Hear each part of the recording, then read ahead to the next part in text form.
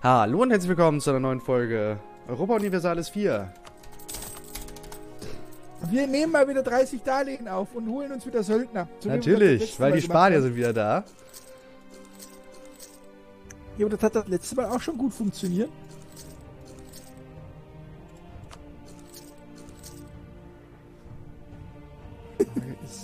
wie gleich die Portugiesen irgendwie so böse ankommen. Aber hier sind keine Transportschiffe, die wir gerade sehen.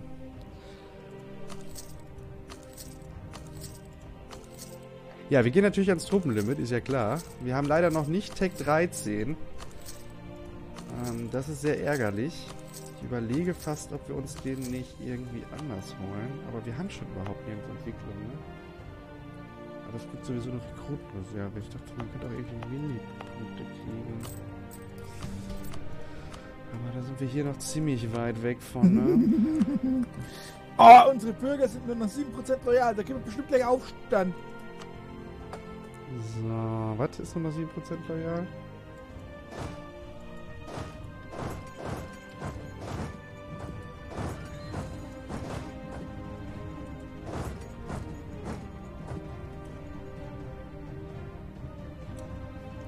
Das ist echt nicht gut, dass wir hier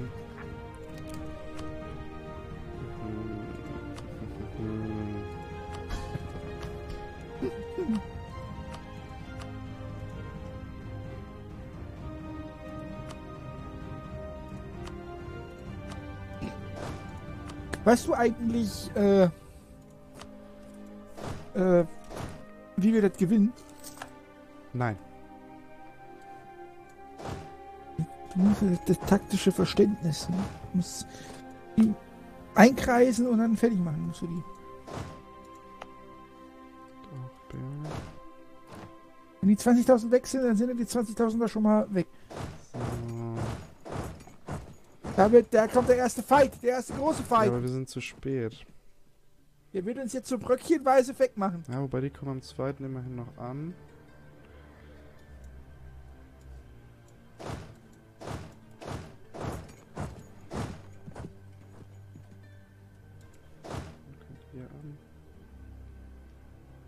Sechster Mai ist auch nicht so schlecht.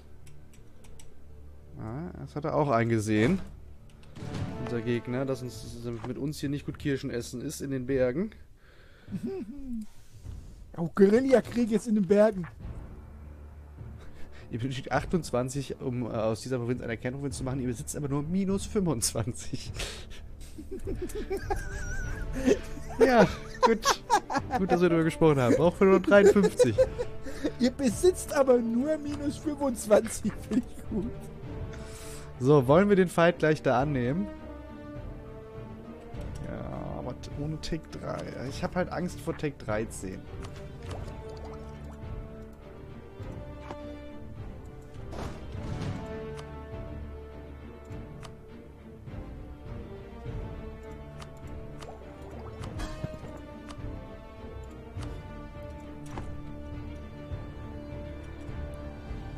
bin so gespannt jetzt, was du da jetzt draus machen willst. Der Nergoritz will jetzt über die Flanke spielen.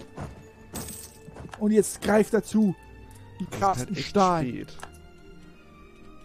Kommt. Dauert ein bisschen länger als erwartet. Wir, wir verlieren trotzdem mehr als sie. Aber wir haben gewonnen. Ja, das habt ihr euch so gedacht, Spanien. Guck mal nach Norden, nicht, dass da was passiert. Ja, da wird was passieren. Das, das lässt sich nicht vermeiden. Wir müssen auch hier mal eben ganz schnell das hier machen.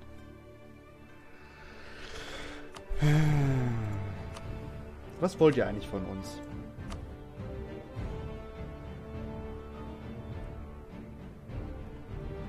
Das ist gar nicht so viel wie erwartet. Ein bisschen random, was die von uns wollen.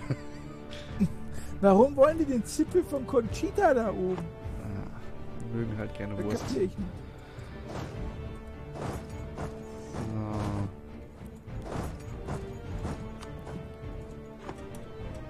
Eigentlich wäre es halt geil, wenn wir Portugal rauskriegen würden, aber Portugal ist halt einfach nicht in Brasilien, sondern nur da und da kommen wir nicht hin. Portugal ist nicht in Brasilien. Ja. Also wenn jetzt irgendwelche Eingeborenen kommen, kann ich da jetzt auch nichts ändern. Wo rennen die denn da ganz hin? Darlehen zurückzahlen. Wir haben kein Geld dafür. Was ist denn das für eine Nachfrage? Wollen wir nochmal Finger in die Wunde legen oder was? Was sind das für eine Frage? Sollte ja wohl klar sein, dass wir keinen Kredit zurückzahlen wollen. Charles der erste Herbert. Wer kennt ihn nicht? Wir haben schon 1% Kriegsstand. Ja. Wir können auch fast wieder was scrollen, wir sind nämlich noch bei minus 4.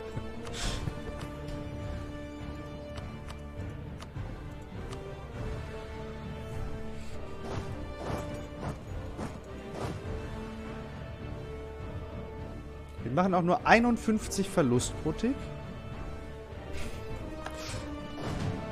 Mann. Also ich glaube, von der Idee, irgendwann mal schuldenfrei zu werden, können wir uns auf jeden Fall verabschieden.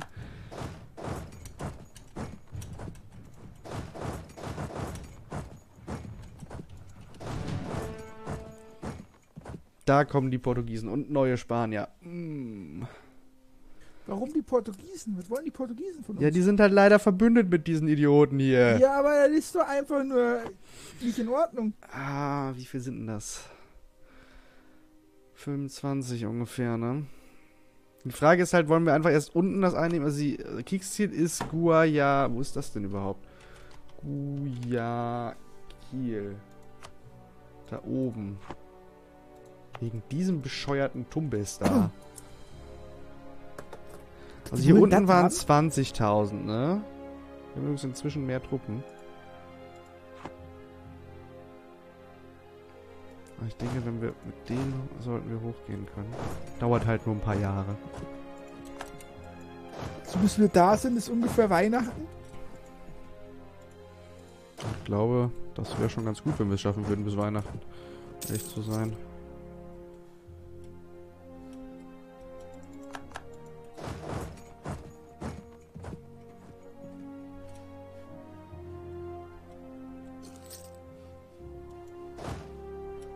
Ich finde das schön, wie unsere, Ver äh, unsere Vasallen uns immer aushelfen. Ja, Richtig. Ich also weiß so, noch, so mag unsere- ich meine Vasallen. Ich weiß noch, dass unsere Vasallen auf, und uns geholfen haben, indem sie die Rebellen beseitigen sollten, das aber irgendwie nicht hingekriegt haben. Ja, also man muss ihnen halt zugute halten, sie haben einen Militärtech 7. Ja, aber ich meine, im Reich ist der Fortschritt schon weit fortgeschritten. Sind hier wieder irgendwelche komischen Rebelskis einmarschiert.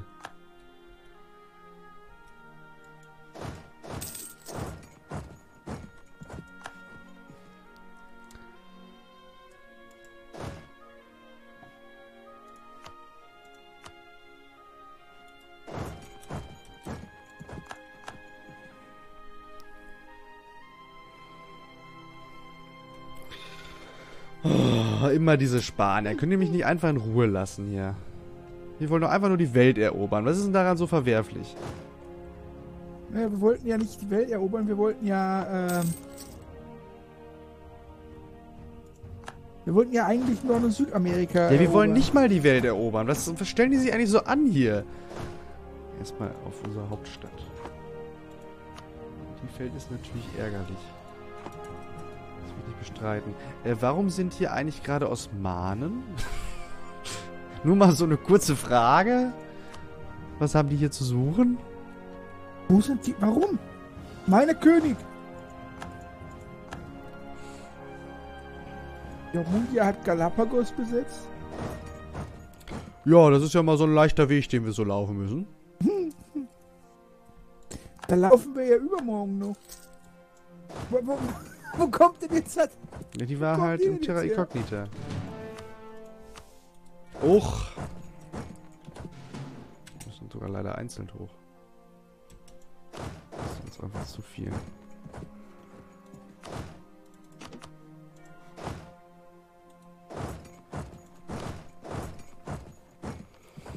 Aber wenn Portugal nicht immer irgendwie so kriegsgeil da mitmachen würde.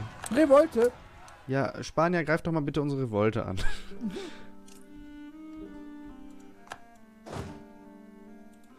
unsere Hauptstadt wird halt fallen. Das wird uns massiv viel Geld kosten, weil wir dann äh, das einzige Land, äh, die einzige Provinz, die irgendwie Geld einspielt, verlieren. Lenka? Also, äh, ich meine, Lemminger Kundreiplatz. Lemminger Kundreiplatz. Wo kommen die denn jetzt hier schon wieder her? Naja, mit denen können wir gerade nicht uns beschäftigen. Da oben sind ja auch schon wieder welche. Ach ja, die, die habe ich ja angekündigt, stimmt. Ich erinnere mich. Tech! Große Guss, eine seine Kanone. oh, Kanone. Die gefallene Hauptstadt ist echt schlimm. Und da kommen wir nie im Leben mehr rechtzeitig hin. Nee. Da kommen jetzt schon wieder diese blöden Spanier angeschissen hier. Da auch. Ja, aber das sind die, die, die, die Blauspanier, das sind nicht die originalen Spanier.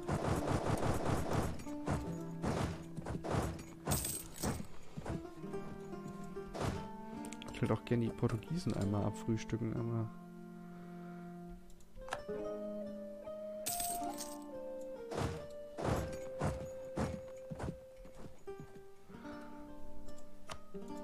Wie wär's mit Frieden? Noch nicht, okay. Überrascht mich. oh Mann, gleich unsere Hauptstadt, die fehlt, ist echt schlimm.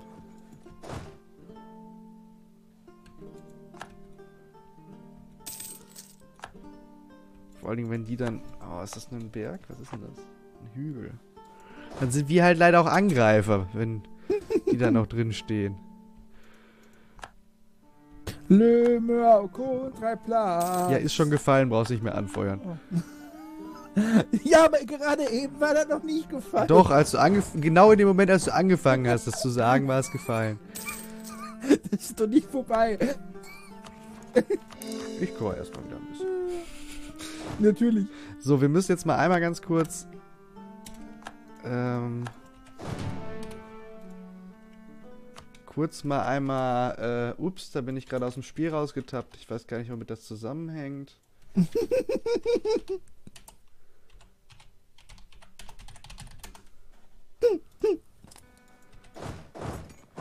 Alter, Überquerungshaus kriegen wir auch noch. Ja, was ist das denn für eine Hauptstadt? Überall Überquerungsmalus oder was? Was sind die denn schon wieder hier abgehauen eigentlich? Ja. Wo sind denn unsere Vasallen? Die gammeln da oben rum. ja. Alter, ist das nicht schlecht. Oh, das ist nicht gut. Wir haben doch doppelt so viele Truppen. Ja, aber wir greifen mit einem Überquerungsmalus in den Hügel an. Also unsere Hauptstadt ist eigentlich schon gut äh, geschützt. Ja, wenn man nicht acht Jahre braucht, um da anzukommen, ja. so, gleiches Spiel jetzt hier. Da machen wir allerdings noch weniger Schaden, weil wir zweier Geländemalus kriegen. Ja, das schaffen wir Ich nicht. glaube, wir haben verloren. Und jetzt kommen hier. Jetzt kommen unsere Verbündeten angeschissen, ja? ah, nicht zu Timing. glauben hier. Timing! Da sind hier keine Kanonen drin.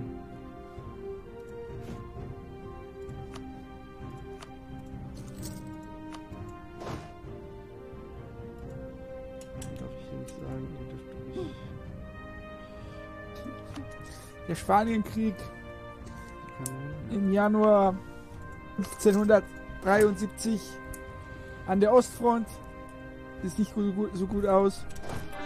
An der Heimatfront war auch nicht so stark. Spanien kommt. Aber unsere Hauptstadt haben wir gleich wieder. Gleich?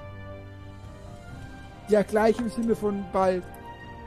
Gleich spielt Bremen auch wieder in der ersten Liga in drei Jahren. Ihr seid doch noch nicht mehr abgestiegen. Also stand jetzt hier in der Aufnahme. Ja, Ausstrahlung dürfte es auch noch nicht so weit sein. Ein Darlehensangebot aus Utrecht. Nein. Brauchen euer dreckiges Geld nicht. Nein, wir brauchen das Geld nicht. Mann, ich kann dir nicht mal einen Mauerdurchbruch empf empfehlen, befehlen.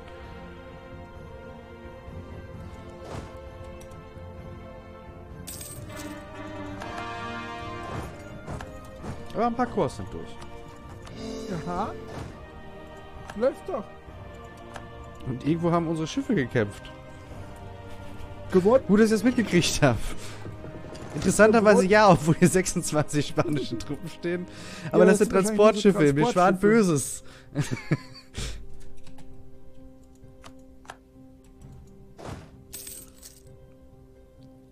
ich glaube, wir müssen wirklich äh, nochmal einen zweiten Versuch hier starten.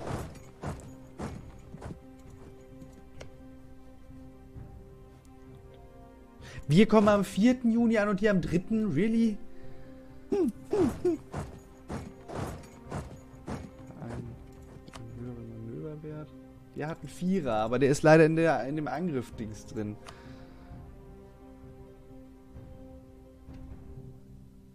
Ich riskiere es jetzt einfach. Und es hat nicht ja, geklappt. Wir kriegen immerhin keinen Malus. Ja doch, natürlich kriegen wir einen Malus. Das wäre halt, wenn wir eher angekommen wären, hätten die den Malus gekriegt. Ja, ich würde sagen, äh, wir beenden an dieser Stelle jetzt äh, mal. Und äh, wir werden dieses Projekt nochmal neu starten mit Geomundia und einer anderen Religion. Ich glaube, dann äh, läuft es schon viel besser. Ich weiß zwar noch nicht mit welcher, weil es ist eigentlich alles scheiße, was wir hier nehmen können. Aber ich glaube, wir müssen hier nochmal einen zweiten Versuch starten und uns dann mit ein bisschen mehr Geld doch Spanien deutlich besser zur Wehr setzen. Äh, würde ich behaupten, oder Zarok, wie siehst du das? Ja, also ich. Der, der Krieg ist jetzt äh, noch nicht verloren. Aber eigentlich schon. Aber wir haben halt kein also, Geld. Das ist das große Problem, dass wir kein Geld haben. Genau, man, man könnte hier noch weitermachen, natürlich. Die wollen auch inzwischen sogar weniger haben. Äh, 1, 2, 3, 4, 5, 6 Provinzen wollen die nur. Ist Aber jetzt warum nicht so denn genau viel. in der Mitte? Ja, um uns abzufangen. Hat keiner einen Grund, glaube ich.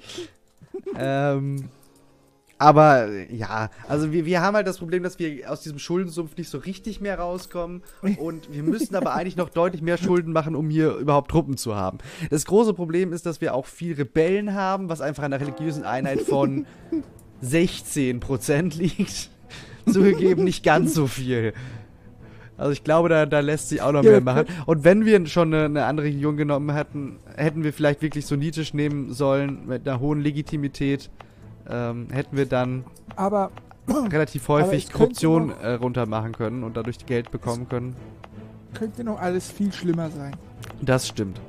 Aber nicht mehr in diesem Let's Play, denn das ist jetzt vorbei. Wir werden das Ganze nochmal versuchen. Wahrscheinlich gibt es zwischendurch allerdings nochmal einen Versuch mit Landshut, Bayern zu werden und dann, was weiß ich nicht, was zu machen. Das wollten wir Die mit 1.30 machen. Kommt ja demnächst raus. Aber dieses Projekt werde ich auf jeden Fall nochmal mit Zahlrock machen wollen. Wir müssen Geomundia zur Größe verhelfen. Wir müssen die Spanier. Dies war nur ein Teilerfolg. Wir kommen wieder, keine Frage. Macht's gut. Tschüss. Scheiß Spanier.